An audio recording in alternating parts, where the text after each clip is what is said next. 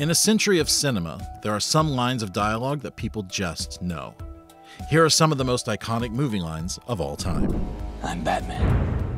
The 1989 Batman film was directed by Tim Burton, starred Michael Keaton, Jack Nicholson, and Kim Basinger. The film takes place early in Batman's war on crime and focuses on the conflict between Batman and his arch nemesis, the Joker. Frankly, my dear, I don't give a damn. For years, Gone with the Wind was the highest grossing film, and adjusted for inflation, it still holds that record. It centers around the turbulent relationship between Scarlett O'Hara and Rhett Butler, a charming philanderer. I'm gonna make him an offer he can't refuse. Francis Ford Coppola's mafia masterpiece, The Godfather, is often considered one of the greatest movies of all time. The film is filled to the brim with memorable moments and quotes. You're gonna need a bigger boat.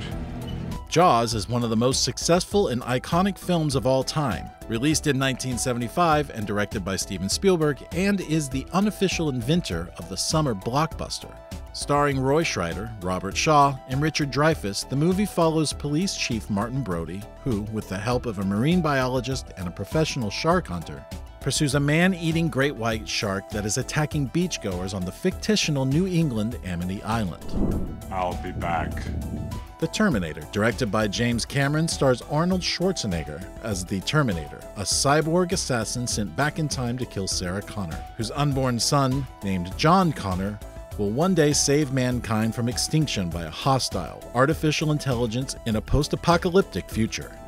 I am the Father. The Empire Strikes Back is often regarded as the best movie in the Star Wars franchise. It is during the climatic lightsaber battle in Cloud City that Darth Vader reveals he is, in fact, Luke's father.